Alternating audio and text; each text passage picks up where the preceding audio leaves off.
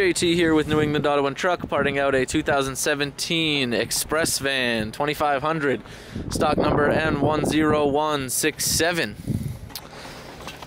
As you can see, front end a little smashed in there. Uh, do have a good right front headlight over there, uh, and the hood up front.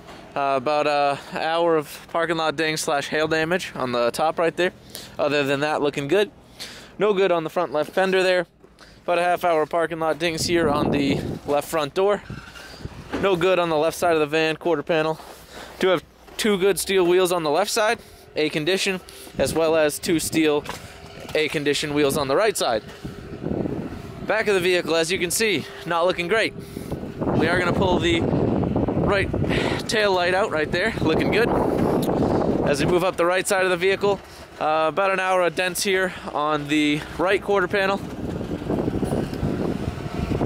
Looking at a half hour of parking lot dings on the uh, left side right rear door. And on the right side right rear door, looking at a triple zero. Triple zero right front door and a triple zero fender. Like I mentioned, two good steel wheels right there. Could not get the engine running on this one. Appears to be out of gas.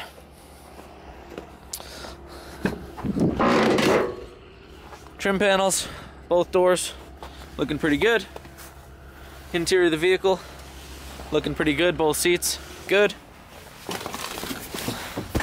Give you a look here at the Speedo.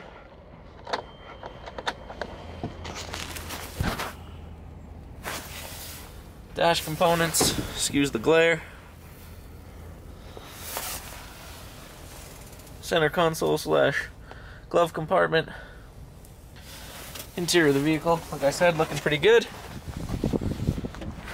Not much else to say about it. Vehicle does have 61,000 miles on it.